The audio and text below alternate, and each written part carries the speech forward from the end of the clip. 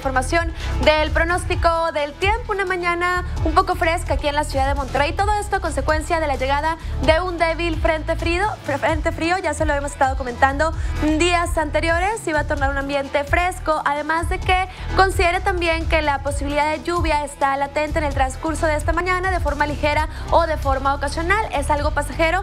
Ya para esta tarde se va descartando poco a poco la posibilidad de lluvia aquí en la ciudad de Monterrey y en buena parte del noreste del país, que se va a ver afectado por este sistema, hablando al menos de Coahuila, de Nuevo León, también de Tamaulipas y buena parte del territorio tejano. En cuanto al resto del país se refiere, las condiciones de ausencia de nubosidad continúan predominando buena parte del territorio, solamente hacia sectores del occidente y del sur del país, como ha sucedido durante jornadas anteriores, siguen reportándose algunos chubascos aislados. Hablando de la tormenta tropical Karen, ya se degradó a una perturbación tropical y se mantiene perdiendo fuerza rápida en partes del norte del Golfo de México. Esto sería lo más relevante en cuanto a la imagen de satélite se refiere. Por supuesto, aquí en la ciudad de Monterrey lo más relevante es este débil frente frío. Va a dejar consigo nubosidad y lluvias en el transcurso de esta mañana. Hablando de la temperatura máxima, precisamente este sistema no permite que el valor aumente demasiado y estaremos alcanzando cerca de los 24. Nubosidad variable o medio nublado por la tarde, igual que durante la noche,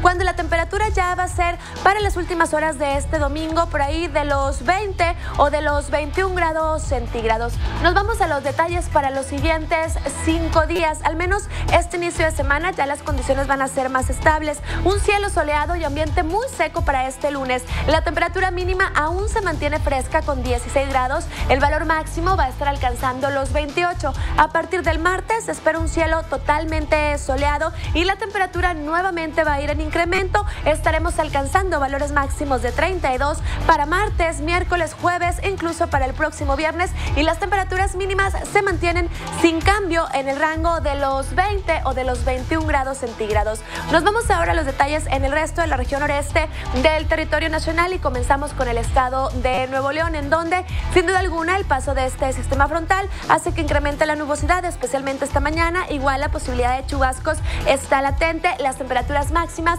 para todo el estado en el rango de los 23 a los 24 grados centígrados Asimismo, en el estado de Tamaulipas las condiciones son bastante favorables para que se puedan reportar algunas lluvias dispersas. En general, para todo el estado, las condiciones de cielo medio nublado o cielo totalmente cerrado, especialmente durante esta mañana. Hay que considerar que también baja la temperatura. Hablando de los valores mínimos en Reynosa, en Ciudad Victoria, Mante, también hacia Matamoros, van de los 17 a los 20 grados y las temperaturas máximas no rebasan los 24 o los 25 en buena parte del estado de Tamaulipas. Pasamos hacia Coahuila, por allá ya va pasando este sistema. Después de eso, bueno, las condiciones para el día de hoy van a ser de un cielo medio nublado, al menos hacia la parte norte. Ya se descarta la lluvia en Piedras Negras, en Acuña, también en Sabinas. Las temperaturas también sufrieron un descenso en cuanto a los valores máximos para esta tarde. Van a estar alcanzando cerca de los 24 a los 26, en Monclova 23. Algunos chubascos aislados aún no se pueden descartar para el área